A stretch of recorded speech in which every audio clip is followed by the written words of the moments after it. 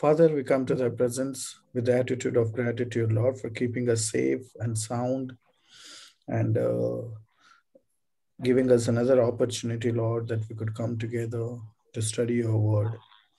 Lord, this moment we remember the people who have lost their lives in uh, the accident that took place in Uttarakhand, Lord. Uh, it's so unfortunate that uh, we could not find, uh, we could not trace their bodies anymore, or we could not find them anymore. It's such a great loss for their families.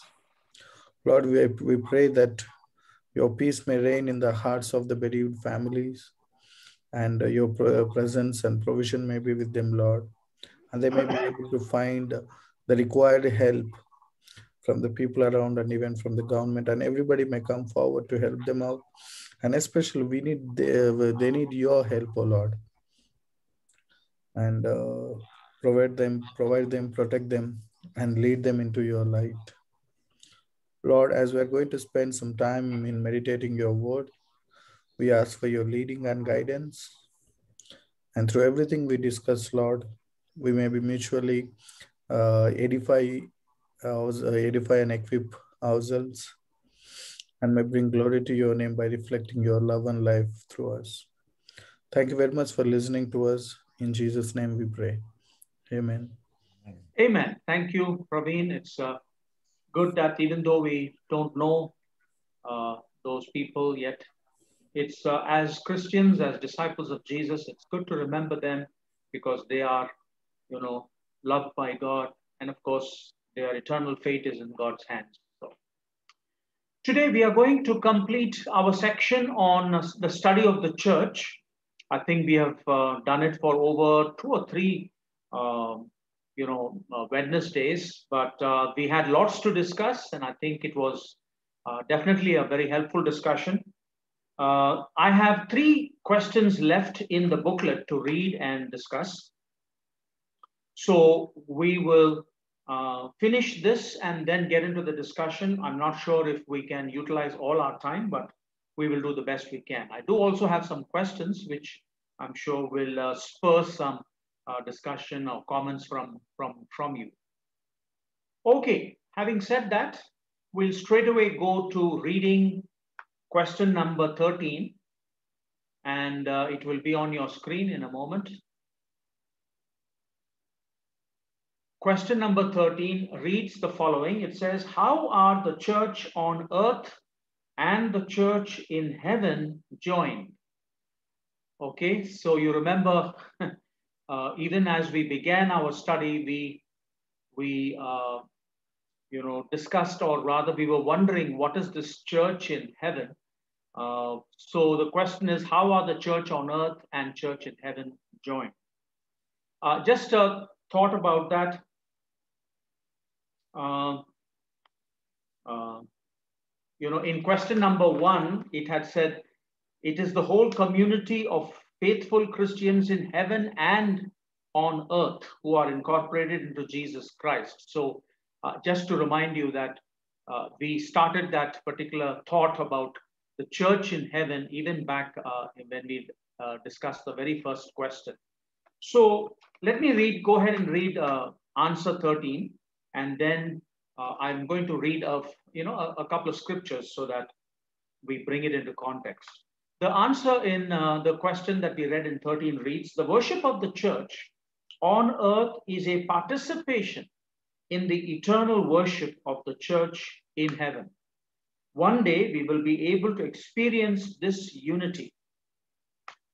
We, when we worship here on earth, we are joining in with the eternal worship that is already and forever taking place.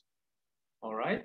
So, uh, just an interesting thought. Once again, uh, the uh, the you know what is mentioned there is definitely mysterious. It's it's it's beyond our full comprehension. What is this church in uh, uh, in uh, in heaven? Obviously, when we talk about church, it means uh, a gathering, you know, a fellowship of people, a communion of people. Uh, that is what we must always keep in mind. It's gathering together. But I'd like to read from Hebrews chapter 12 just to uh, bring in this thought, which once again, I don't think we can fully comprehend the, uh, the details of it, but it's a very interesting concept to keep in mind that someday there is going to be this unity, as is mentioned, between the church in heaven and the church on earth.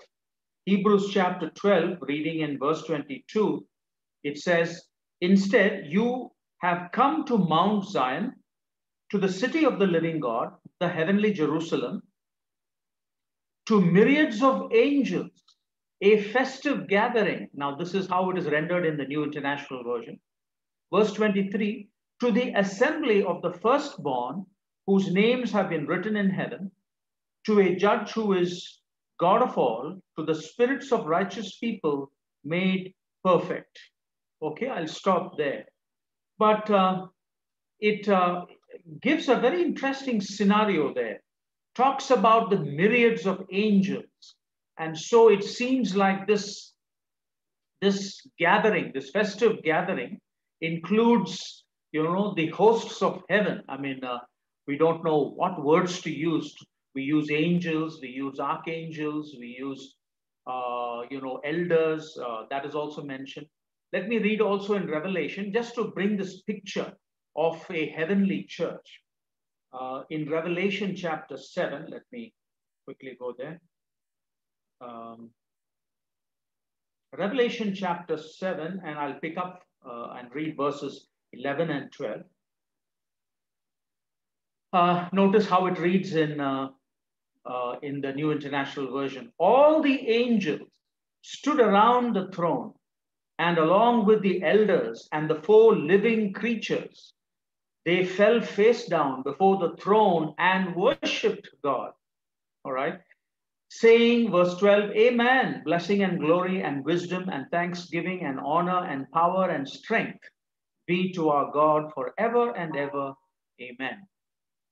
So, uh, uh, fantastic uh, scenario there, you know, where the angels, along with these so called elders, uh, and four living creatures. I mean, these are all, of course, uh, Revelation we know is uh, what they call is uh, apocalyptic uh, literature. Uh, they could be symbolic, I mean, highly symbolic. A lot of it is symbolic. Is there a literalism to it? Once again, we are yet to fully comprehend and understand that. I'd like to read one more from the book of Revelation. And this is Revelation chapter 5, uh, reading in verse 13. Revelation 5 and verse 13. It says, I heard every creature in heaven, on earth, under the earth, on the sea, and everything in them say, Blessing and honor and glory and power be to the one seated on the throne and to the Lamb forever and ever. Obviously, uh, that particular verse is describing that all of creation, it talks about heaven, earth, and under the earth. I mean, it's basically uh, comprehensively including the entire creation will, you know, be in a, you know, a worshipful posture before God, before the Lamb of God. Uh, and it's you know done, of course, forever and ever, which is uh, beyond the dimensions of time.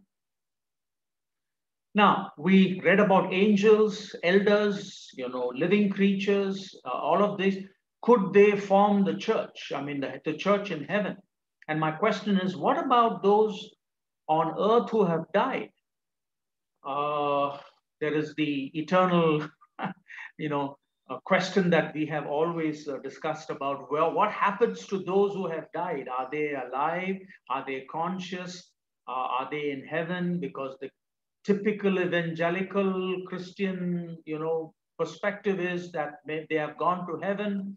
They have gone to the heavenly abode. What does that mean? Obviously uh, that of course is a study that uh, we don't have to do now. Maybe we should get into it some some other time but uh, once again, uh, what about the dead? We have we, we we read in the scriptures that though the body, you know, returns to the dust, uh, the spirit is received by God. So these are all uh, such, you know, uh, concepts, realities that is beyond uh, the human, uh, you know, capacity to fully recognize and understand. So, um, but let me go back to the answer. And uh, once again, whatever this church in heaven is, notice one interesting thing that uh, uh, that maybe we need to know.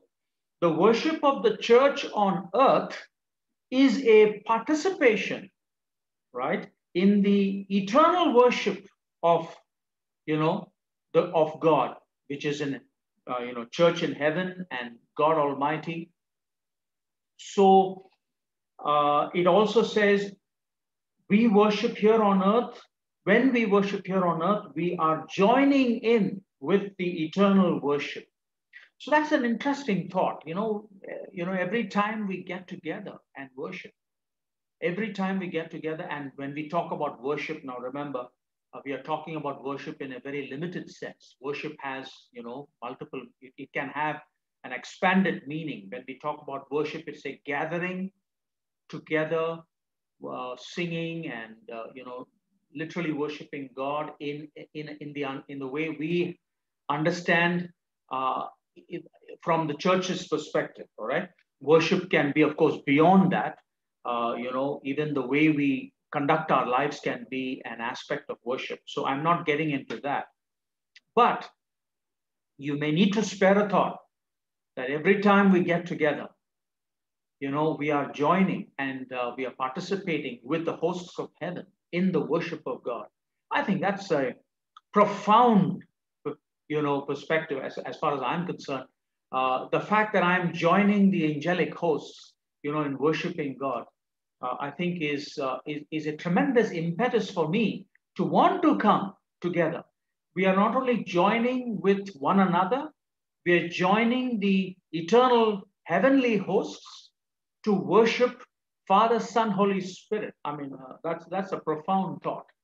And of course, one day uh, we will experience to uh, experience it in the unity of the spirit with the entire creation like it says in revelation 5 all of creation you know all of creation heaven earth under the earth all of creation will worship god so anyway so that is uh, what i'd like to leave you with maybe it's a for me it's an encouraging thought that when we come together we are actually joining not just uh, merely human beings, but we are actually in the company of uh, a, the spiritual realm.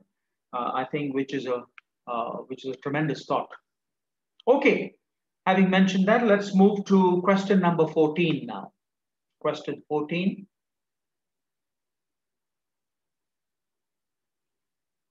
The question reads, how do Christians enter into communion with Christ and with one another?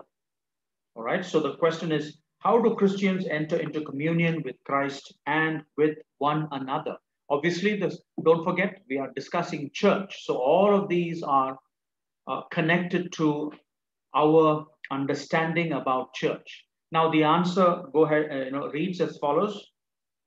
By the ministry of the Holy Spirit, working through word and sacrament, because the Spirit uses these means to bring about his saving purposes, the Word of God and the sacraments are called means of grace. We practice two sacraments, baptism and the Lord's Supper, because these were instituted for the church by Jesus Christ. All right. So um, we are talking about communion.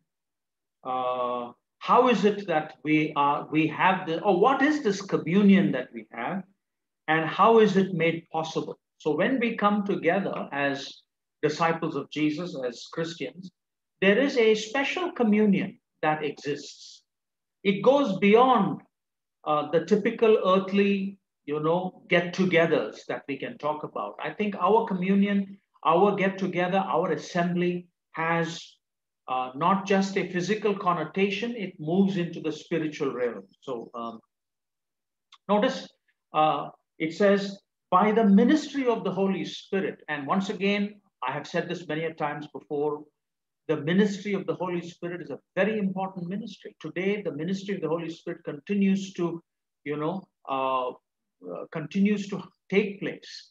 Eh, and the, and the Spirit, though unseen to us, is accomplishing the life of Jesus in all of us in so many different ways. And one of the ways is bringing us into communion, right? And notice it says the ministry of the Holy Spirit working through word, and I understand word here as Jesus Christ because he is the living word of God. We also have the written word of God, which is the scriptures. But I, I would understand this as Jesus Christ because it's in Christ that we have that sense of union. Uh, he, you know, initiated that union and accomplished it in his incarnation.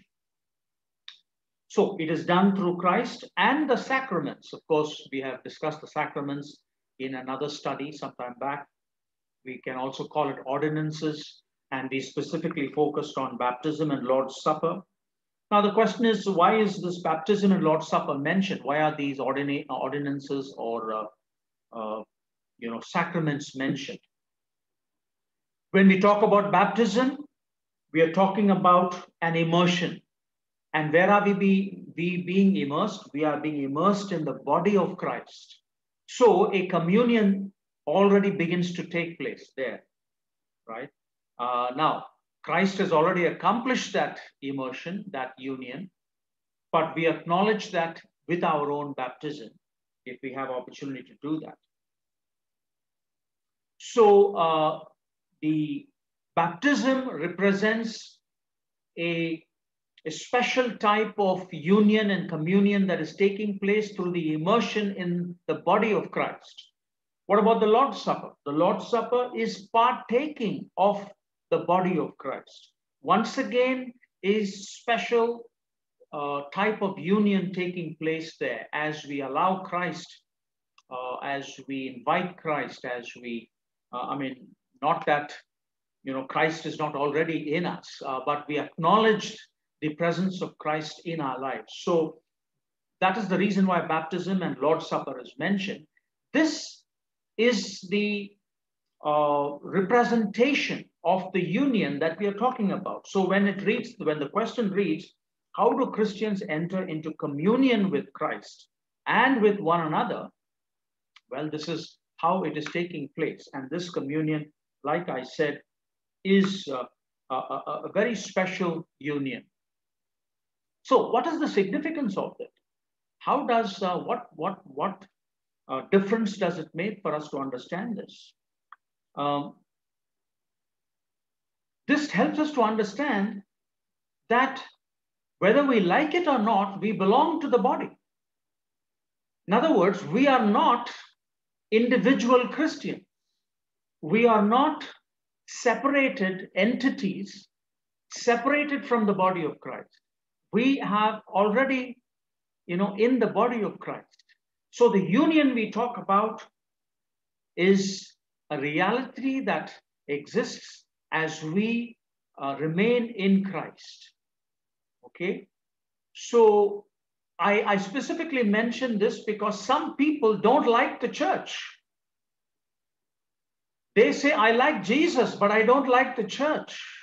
I don't know if there is a there is some saying uh, which you I don't know if you heard of it, but they say, "I do Jesus, but I don't do church." uh, it it is uh, what do you say? Is it is it an oxymoron? I don't know if that's the right word to use, but it's a contradiction. You can't do Jesus without doing church because church is Jesus. it's the body of Christ. So if you belong to Christ, you belong to the body. And so I think that is the significance I'd like to pick out of that. And, uh, and the whole concept of communion is something that, you know, is a, a reality that, uh, that, it, that, that is real, that is true, uh, whether we like it or not. Okay, uh, in this section, I just also want to uh, read the, uh, the notes from Gary Deddo's uh, essay, which I did uh, read last time also. The essay is titled The Church and Its Ministry. And in under the section, many members, one body, I just like to pick out a few sentences from there just to bring a, a, greater clarity to it. Uh, he says the following He says, The primary dynamic of the life in the body of Christ is how there are many members, yet one body. So, right there, we begin to understand when we are in Christ, we already have become part of the body, right? He goes on to say the fallen human tendency is to want to go our own way and thus undo the unity of the church. And that's, uh, you know, once again, uh, you know, that's a contradiction. Um, he goes on to say, for that unity to be regarded in such a way that the distinctions of the many is diminished. In other words, uh, we are united, though we are distinct, though we are uh, diverse, yet there is a unity right? So our unity does not distinguish, or rather, I should say, extinguish. Our unity does not extinguish our diversity. It does not uh, extinguish our distinctions. We bring our distinctions and we bring a, uh, what is the word that we use uh, when we come together? There is a special English word, it just escaped my mind. But uh, uh, there is a, we bring that, uh, all those distinctions, and it's like that beautiful picture that begins to take place as the body of Jesus Christ. Okay, so uh, uh, once again, just reiterating that sense of communion that we have with one another in the church. Let me just read a few more sentences. Though unity and diversity are often at odds with one another, in the body of Christ and by the Spirit, they go together. All right, so that's the important thing. Uh, it looks like we are at odds, but no. The Spirit stitches all of those together. It brings in all those distinctions into a beautiful, uh, you know, tapestry, you could say, uh, you know, bringing the fullness of the body of Christ though distinct yet united. Um, so it he, he says it's not a mindless union, nor does it occur automatically, right? So the union that is uh, being accomplished in, in, in Christ by the Holy Spirit is not mindless, nor does it occur automatically. It has to be of the Spirit. We have to submit to the Spirit so that we are allowing that unity to uh, uh, bring forth fruit and uh, manifest, you know, that Uh, oneness. And finally, uh, true unity with diversity is a miracle of the Spirit of Jesus that must be purposefully received and thus shared. Right? So, true unity within the diversity is a miracle of the Spirit of Jesus. Once again, very clearly indicating it is not possible by just, you know, human effort. It is not possible by just human agreements or what, you know, it, it's done in the spirit. That's why we have to be in Christ to experience this sense of unity.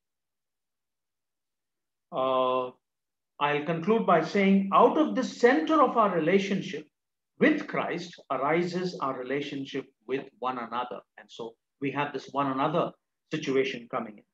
It is only in our uh, in, in the center of our relationship with Christ that the relationship with one another then begins to make meaning.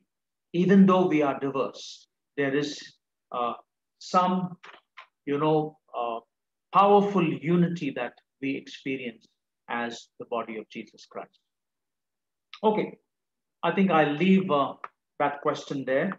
And we will go now to the last question in our uh, in the booklet.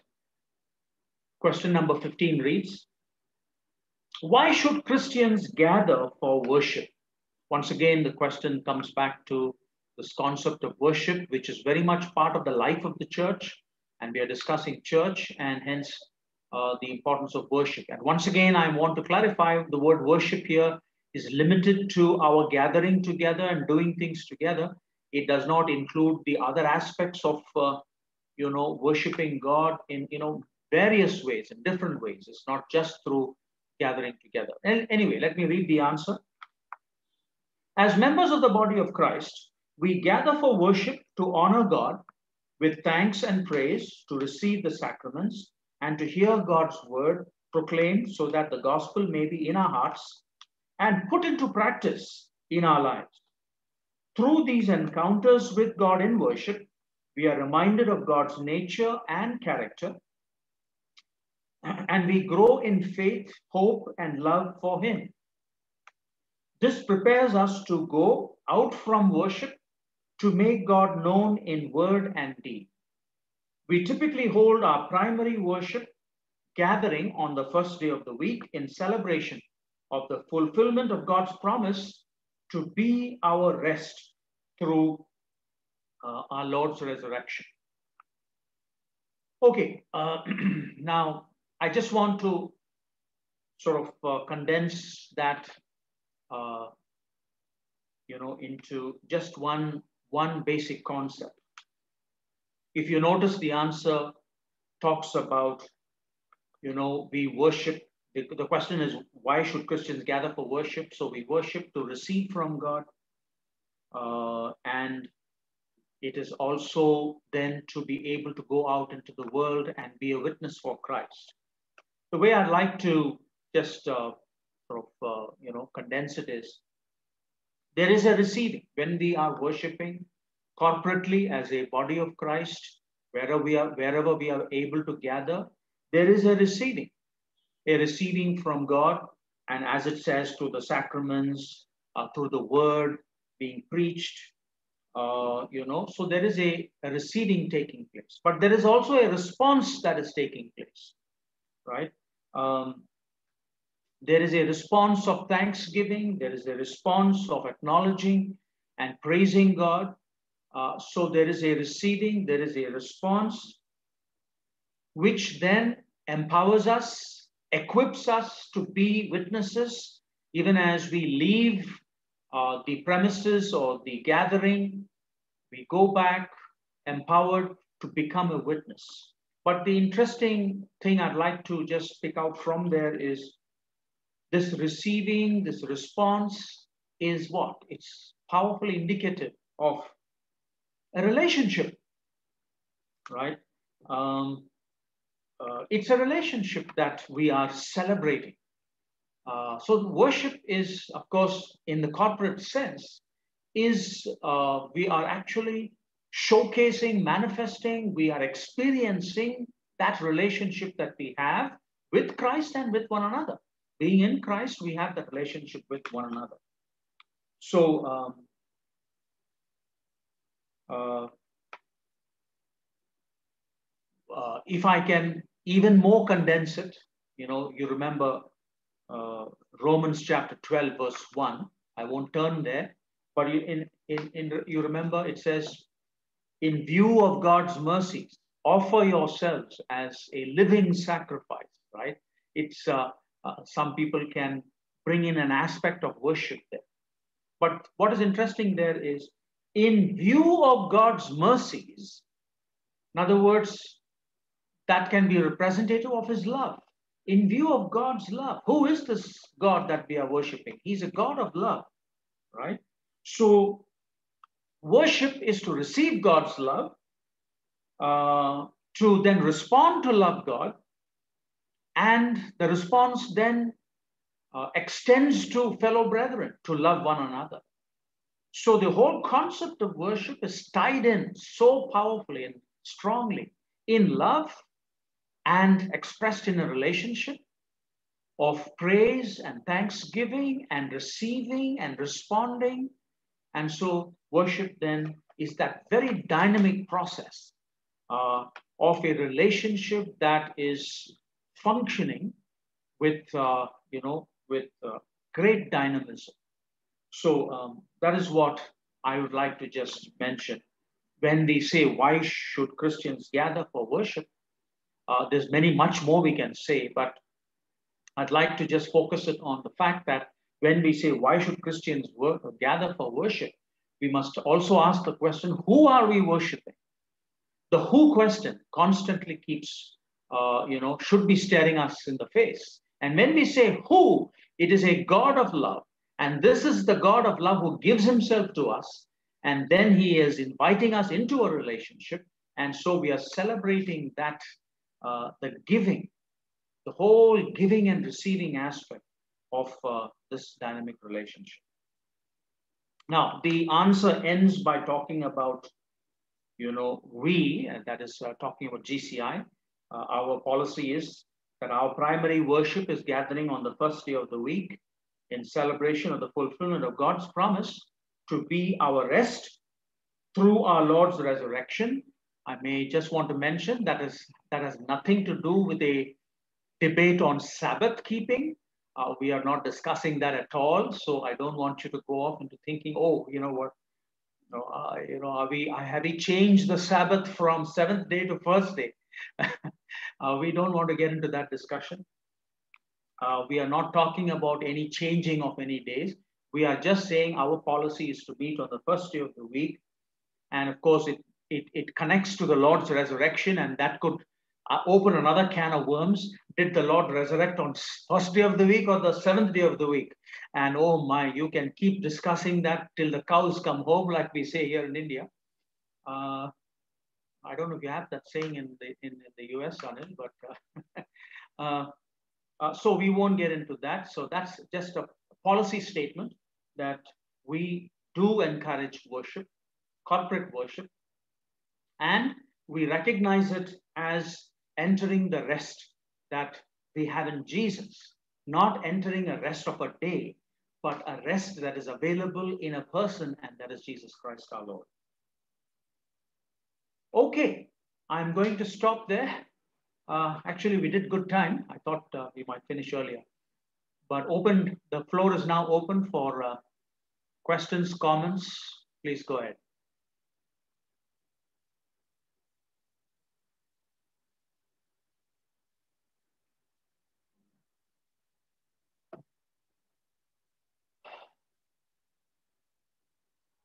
Okay. if you are, if the, the wheels in your head are still turning, uh, you know, maybe I'll throw in a question or two and you can also consider that as we discuss. There are, there are people who ask these questions. Can I worship alone? Right? And another question is, is it a sin not to worship? So, what do you think? Uh, are these relevant questions? Uh, can we, uh, you know, look at it from what the scripture would probably, in, uh, uh you know, indicate?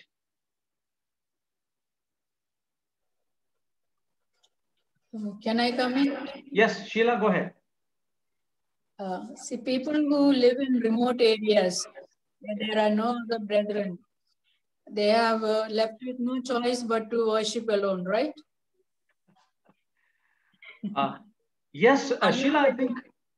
Unless they join some other church and, uh, you know, go along with them. Uh, yes. Uh, go ahead, Sheila. Finish your question. Yeah, I finished. I finished. Okay. My first right. Yes, I think uh, uh, there is a particular reference uh, to your situation, right? You are basically alone in one sense. Uh, and uh, you probably have no opportunity to get to a church.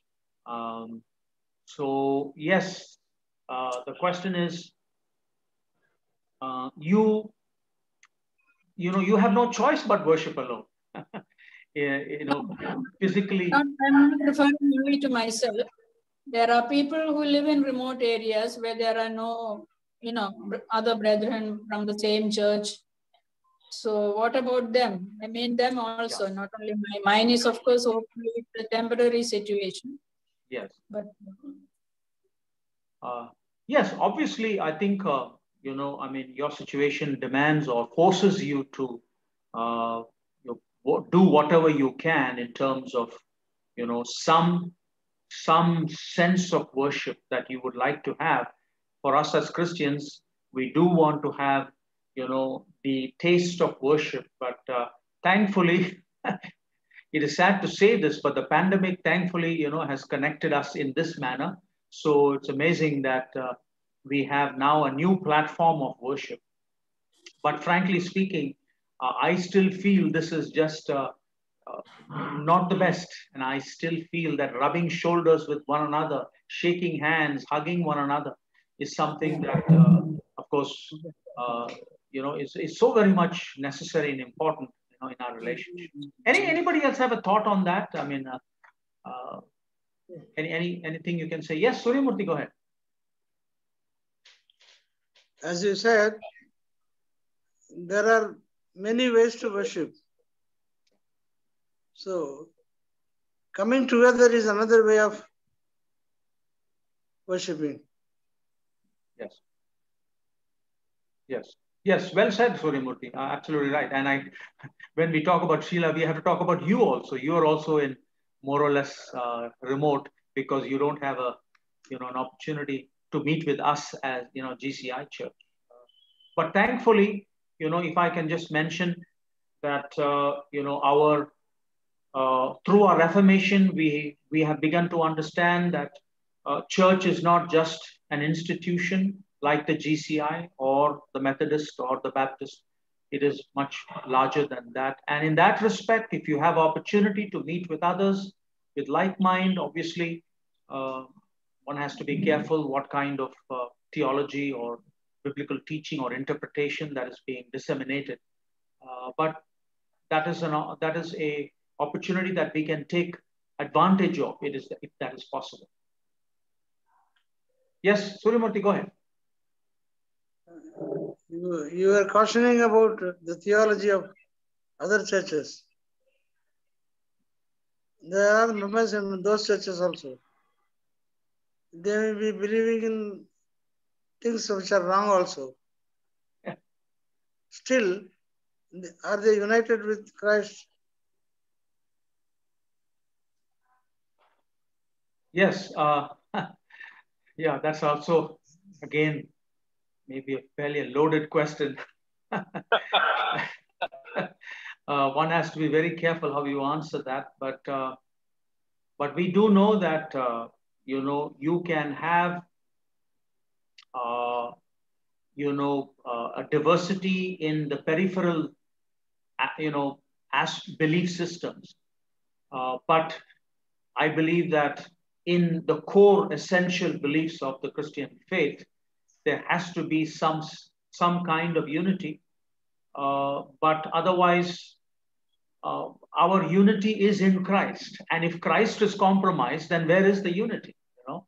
And so I believe that uh, you cannot compromise on Christ, even like last time we spoke about, like, you know, Praveen mentioned about if you believe that Christ is only a human and has not a divine being come in the flesh, then uh, there is a, a, major problem with that. And those kind of teachings, and of course, I remember Sheila asking me a question about this, and I told her that it is prophesied there will be false teachers and false teaching, and uh, we are cautioned not to imbibe of those that doesn't mean to say we condemn people. We don't, sir. We do not condemn people. Each one ha- are at different levels of understanding. And they may grow, and the Holy Spirit will guide them to understand the truth. But uh, we, we must be careful that uh, what we may not necessarily accept. Like, for example, I mentioned a particular uh, denomination to Sheila. Uh, I wouldn't want to be part of them because they deny Jesus, Jesus' divinity. How can I be part of that organization that believes that Jesus is not God? And hence, you can't even worship Jesus. So I cannot, uh, in, in, in all, you know, honesty and uh, true faith, I cannot belong in an organization like that.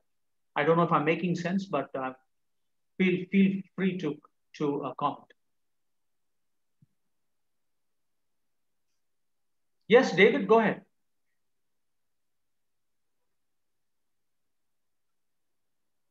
Well, there's always uh, discussion on mainline churches.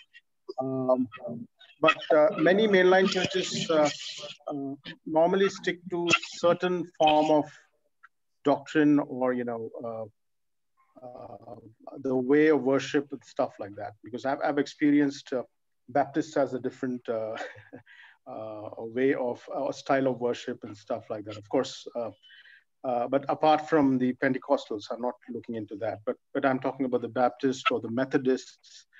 Uh, these are called the mainline churches, and they are uh, to an extent uh, available in some remote areas. So as a church, when suppose I happen to go to a place where we don't have a connection with GCI, so which is the mainline church which you think which is kind of closer where we can be able to uh, i mean i'm just it's not a speculation but i'm just inquisitive to know about this. Yeah. Right. yeah. Your question is uh, which is closer but closer to what david? Closer to the teachings of the lord. I mean there, there's always uh, uh, deviations in some uh, you know there's a subtle deviation in certain uh, teachings. So uh, it would be good at least, you know, um, because uh, mainline churches are very influential in that sense, yeah. because many tend to go because uh, they see the crowd or whatever the, could be the reason. Uh, but normally, uh, people don't have that intuition to, you know, give reverence to the word. So they just get into the crowd kind of. Thing. So I'm not talking about the club, club churches like Satish Kumar and all. These are all club churches, but I'm talking about a structured church, um, like uh, maybe Baptist or Methodist or Wesleyan. These are some orthodox uh, mainline churches. So um, uh, I, am just trying to figure out, just in case. I mean, in, in case if I happen to, you know, because things can change. I mean, uh, we may be relocated for whatever reasons. So uh, that's where uh, I'm just coming from. I hope I could be able to pass on my message. And yeah. uh, well, David, I think uh, I think it may not be wise for us to classify a church, one church closer to the truth and one church not closer. Uh, uh, maybe it, it, it probably wiser not to mention any names there. I presume I can only uh, guide you to the fact that you must go and experience it. And if you find that they are preaching and teaching, uh, you know, is what you have been, you have understood the scriptures to be, I think uh, it, it depends on you whether you're going to be comfortable there. If it isn't, are you going to be comfortable, uh, you know, uh, worshiping with them? So, so I would just leave it there. Uh, I, I, I, I prefer not to mention any particular denomination being either closer or or not closer, you know, to the truth. One has to use Say that again, Bertram. Discretion, discretion. Okay. Dis discretion. Yes, One yes, understood. Discretion. Understood. Yes. yes. If we are really keen, then I think the Holy Spirit will direct our paths and uh, that would help us because all churches have some problem but but we iron sharpens iron and we have to meet people in the long run yeah i think that's a good comment uh, Rekha, because uh, you once again mentioned the holy spirit and then the, the ministry of the holy spirit is vital and i think we must recognize it and uh, allow the holy spirit to lead us and like you said who knows uh, we could be a catalyst for change uh, in yes, you know in wherever we go. So I don't know if uh, Praveen, you have any thoughts on that? Uh, I personally would look at this subject in this perspective. Uh, there are no perfect churches, and there are, we already studied about it. And every church is unique and blessed in a unique, uh, unique way. Uh, there is no denomination which is absolutely correct, though there is no other denomination which is uh, totally bad and if you are looking somebody who is close correct correct and all we that that is where we are idealizing ourselves number one Uh, we are idealizing ourselves, number one. And number two, we are not seeking Christ. We'll be seeking another ourselves. You know, in other words, we will not be seeking Jesus, but we'll be seeking GCI. Uh, G, I guess here we are worshiping Jesus, not GCI. That we need to keep in our mind, number one. And number two is, uh, see, as I said, every church is unique and that depends on the people who are there they have some goods and there are some weaknesses all those things are there. Instead of looking trying to look uh, for something that aligns with us why don't we look in this direction? Uh, you know my presence there may bring change in the church. This is like when we go there is a church where there is a problem with administration. For example you are good at administration.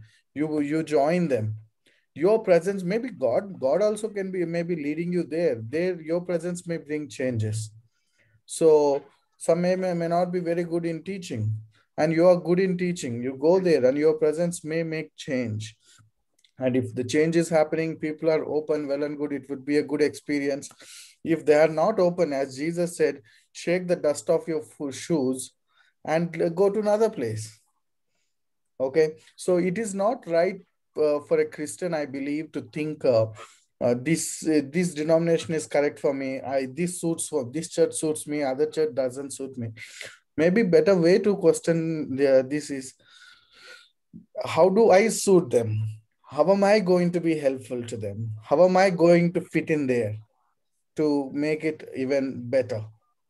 So perhaps as Christians, we should be thinking that way because the quality of the church and direction of the church or whatever the church focuses it will be based on the people who are attending. So when people like you like like-minded are coming together they will be having a direction. So maybe you are going to make an influence there. You are going to take the church in a direction what you are thinking. Uh, we don't know what happens you know god god can work miracles uh, you know charles spurgeon also did the same methodist.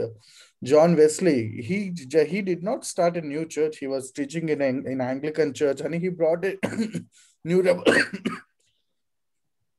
he brought a new revolution revolution into the church. So um, better question may not be what is the right church better question may be how can i fit into the church so that the church can be benefited. I think there's a very good points, uh, especially over the fact that, you know, remember we worship Jesus, not a particular denomination or a church. And uh, being right, you know, the right fit, if you are the right fit, then, you know, maybe God wants you to be there. So, any other thoughts or questions, comments? We have uh, maybe two or three minutes left. Yes, Bertie, go ahead. Uh, would you unmute yourself, Bertie? Yeah, can you hear me? Yes. Uh, uh, we should always remember and keep it in the forefront that it is the Holy Spirit that uh, draws us and uh, works in us. The Holy Spirit's ministry puts us in a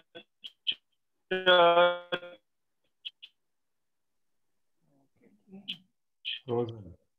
Uh, Bertie, we are unable to hear you. Your voice is uh, getting cut. So can you switch off your video? And... From a church or in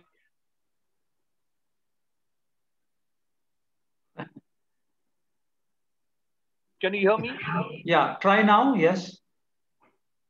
I'm saying we should always put in a, uh, put uh, put it in the forefront always remind ourselves that it is the Holy Spirit in the first place that puts us into the body of Christ and places us in the church or even removes us from the church. So that way we are more safer. And of course, uh, look up like the Bereans, look up uh, in the scriptures whether what they teach is the truth, uh, truth of God, and it, whether it's uh, uh, whether we are agreeing to the word of God and is in agreement to the word of God. It is the Holy Spirit that is working in and through us and uh, in, in wonderful ways. Okay. Okay. Once again, you highlight the ministry of the Holy Spirit, which I think yes, yes. is significant. Yes. Thank you. Thank you, Bertie. Okay, I think uh, we have done well for today. And uh, thank you once again very much for uh, joining us uh, for this study. And I hope that we continue to learn from one another and uh, spur one another to, you know, greater understanding. So let's close in prayer. And if I can request David, would you please lead us in a closing prayer, David? Thank you.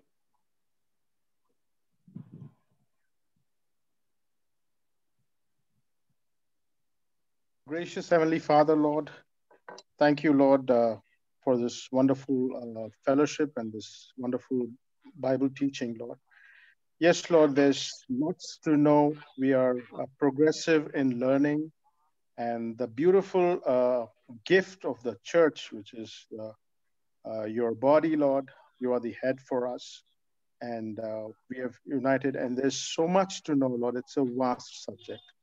Father, Lord, help us to open our hearts and minds that the Holy Spirit will uh, lead us into uh, your truth and guide us in the days to come.